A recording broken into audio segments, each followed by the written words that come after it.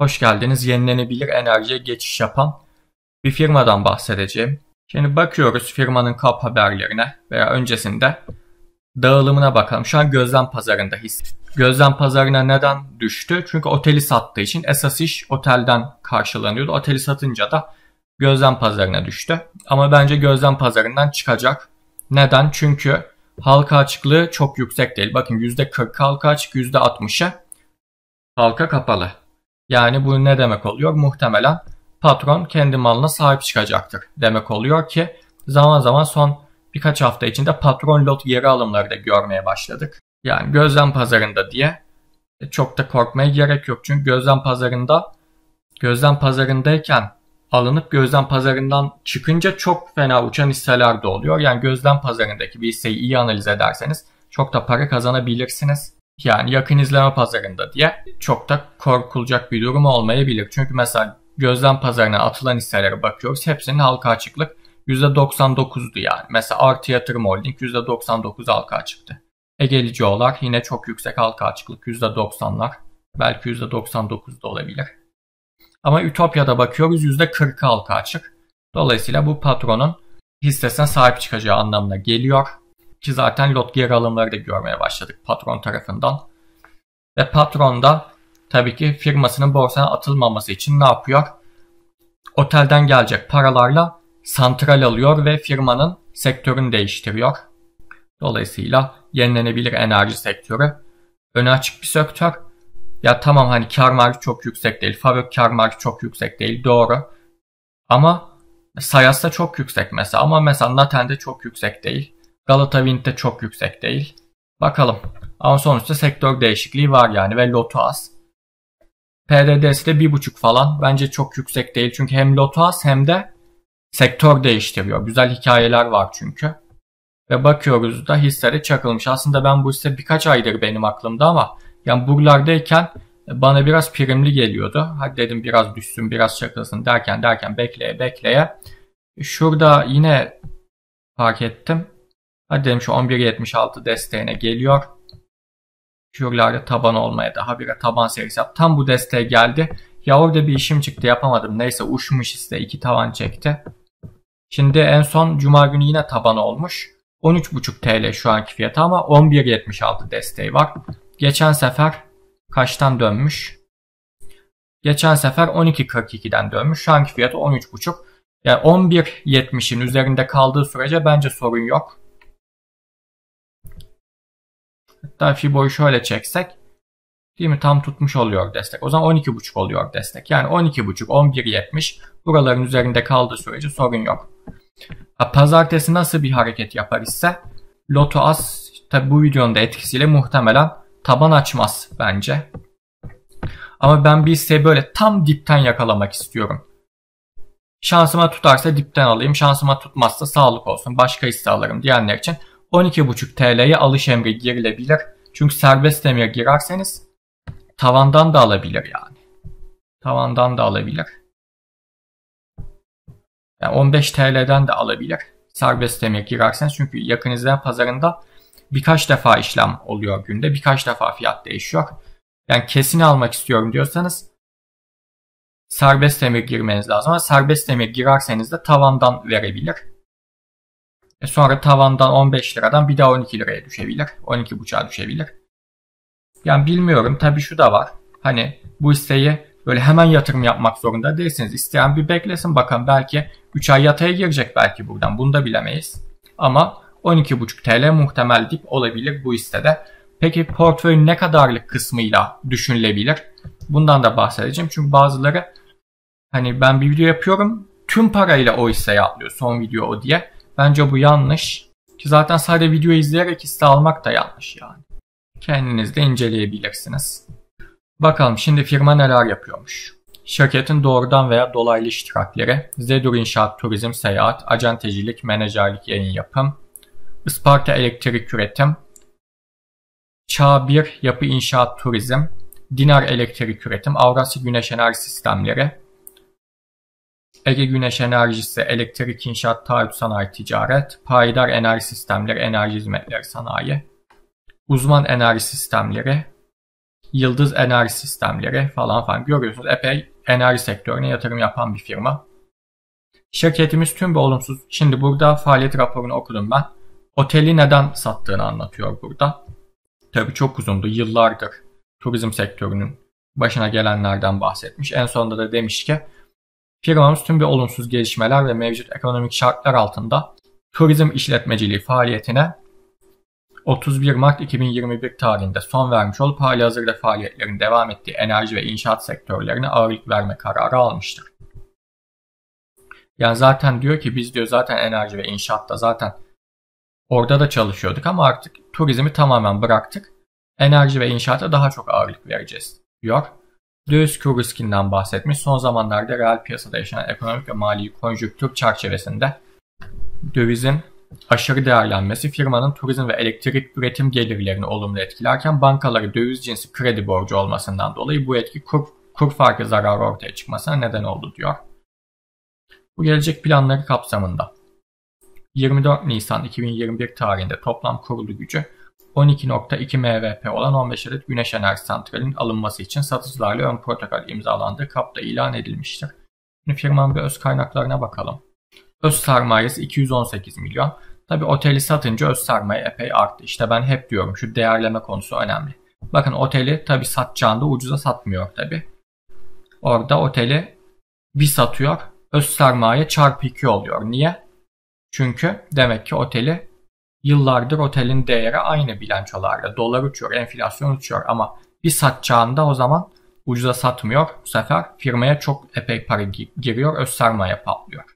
24 Eylül 2021 tarihinde bahsi geçen 15 adet güneş enerji santrallerinin sahibi olan aşağıda tabloda isimleri verilen 6 adet SPV şirketin 5 tanesinin aktif ve pasifiyle bir bütün olarak hisse devri yoluyla satın alınması, diğer bir adet SPV şirketin güneş enerji santralinin makine, teçhizat ve benzeri arsa dahil olmak üzere tesis devri yoluyla satın alınması hususunda firmamızın %99 oranında sahibi ve bağlı ortaklığı Isparta Elektrik Üretim AŞ'nin güneş enerjisi yatırımlarımızın takibi ve işletilmesi için kurduğu %100 oranında sahibi olduğu Dinar Elektrik Üretim ile 6 SPV şirketin tarafları arasında devir işlemleri tamamlandı. Bu satın alma işlemleri için Türkiye İş Bankası ile imzalanan 10,5 milyon dolar yatırım, 500 bin dolar işletme kredisinin kullandırım işlemleri başlamıştır. Firmamız yenilenebilir enerji alanında kurulu gücü %305 artarak 16.200 kVp'ye ulaşmıştır. Toplam kurulu güç 12.279. Şimdi bir de kıyaslama yapalım. Naten ise Naten'in %62,5 ortaklığı olan Esenboğa Elektrik Üretim'in Esenboğa Elektrik'in ve %75 bağlı ortaklığı olan Margün Elektrik Üretim'in altında bulunan toplamda 89 santral ve 118 bin. Şimdi buna bakıyoruz 112 bin 118 bin. Yani Naten'e göre epey az gözüküyor. Ama tabii ki Ütopya'da yenilenebilir enerji dışında da biraz elektrik şeyleri var. Naten 118 kVp ile 117 milyon farok kazandıysa Ütopya 12 kVp ile 17 milyon farok yapıyor. Bunu yaklaşık oran orantı yaptığımızda.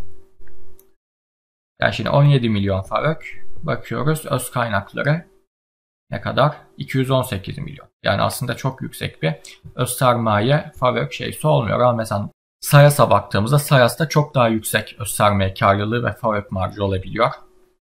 Yani ama Naten gibi olma ihtimali de mevcut.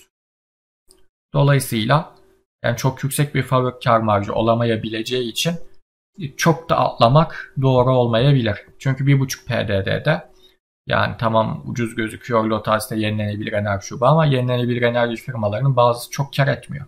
Dolayısıyla yani 1.5 PDD'de yani tamam belki pahalı diyemem ama ucuz da diyemem bence. Ama loto az epey çakılmış. Tepki yükselişleri görebiliriz. 20 TL'ye bir tek tepki yükselişi en azından görebiliriz. Loto hisselerinde rally'e katılmasıyla. Mesela bakıyoruz 9,5 milyon fiili dolaşımda lot var. Bir lot 13,5 TL. Yani yaklaşık 150 milyonluk bir tahta. Yani aslında evet çok aşırı küçük bir tahta da diyemeyiz. Ama büyük bir tahta değil 150 milyon. Düşük. Ucuz bir tahta, küçük tahta. Durumlar bu şekilde. Peki ben olsam portföyümün ne kadarlık kısmıyla bu hisseye yatırım yaparım? Cevap veriyorum %2.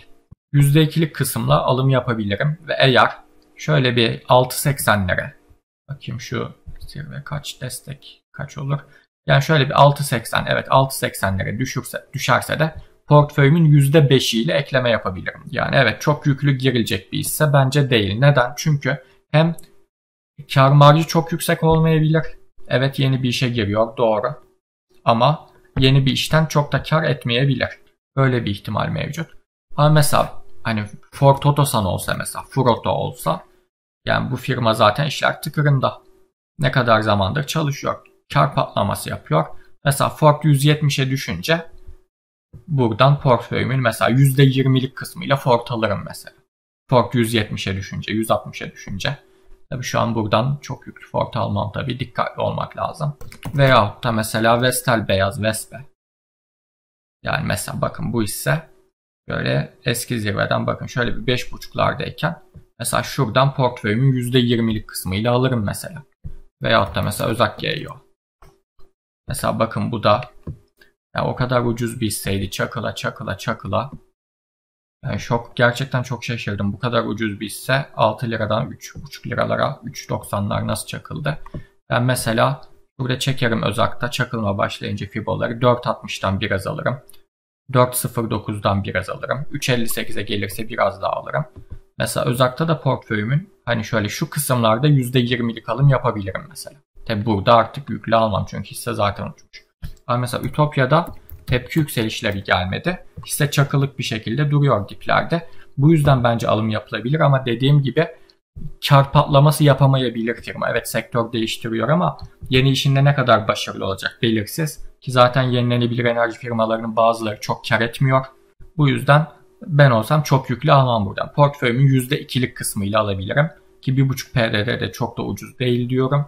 Ama dediğim gibi 6.80'lere gelirse de portföyümün %5'lik kısmıyla maliyet düşürmek şeklinde bir strateji yapabilirim. E 6.80'e düşmezse ne olacak? O zaman sorun yok. Ben zaten 12.5'lardan 13'lerden az da olsa almışım. O yükselirse de kar ederim. O zaman sorun olmaması lazım. Kar ettiysen yani borsada fırsat bitmez. Ütopya dışında bir sürü kazandıracak hisse var. Hatta Borsa İstanbul dışında da altın yatırım olsun, coinlerde işte Nasdaq'ta yabancı teknolojiler, hisse senedi şeyleri falan fon da düşünülebilir. Ama şunu da söylemeliyim. Tabi şu anda biliyorsunuz ülkenin durumu kritik. Dolar uçuyor. Yani bakın dolar 17 TL görmüş yani. Resmen coin gibi uçuyor. Hani ben bu grafiği görsem şurada dolar yazmasa ya bu coin çok uçmuş dikkat edin falan derdim yani. Ama coin değil dolarmış meğerse. Dolayısıyla şimdi dolar böyle sert uçarken bu hissenin dolardan daha çok kazandıracağını iddia edemem. Belki dolar daha da uçacak belki. Bu hisse dolar bazında belki düşecek bilmiyorum. Ama hisse senedi yatırımı yapmak isteyenler şu doların bir sakinleşmesini, doların bir 3 ay 6 ay yataya girmesini bekleyebilir.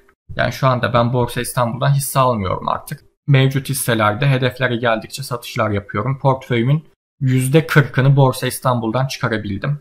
Başka yerlerde de yatırımlar yapabilirsiniz. Borsa İstanbul dışında da yatırımlar düşünülebilir. Hedefim portföyümün %50'sini Borsa İstanbul'dan dışarı çıkarabilmek. Ve tabii ki e, bu firmalarda işte birçok firma olsun, Vespe olsun mesela. E, bu firmalarda ne yapacak? Enflasyonla dövizle sattığı ürünlere zam yapacak. Dolayısıyla öz sermaye karlılıkları epey artacak.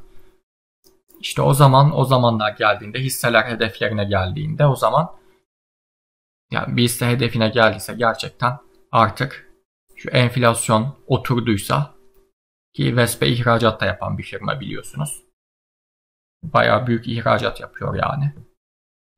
Dolar bazında da çalışıyor diyebiliriz. Yani firmalar enflasyonu amorti ettiğinde bilançolarına ve o bilançolarda tabii kar patlaması olunca hisseler ederlerine gelince piyasa iyi olunca hisseler ederlerine gelince o zaman Borsa İstanbul'da daha da fazla satış yapılabilir.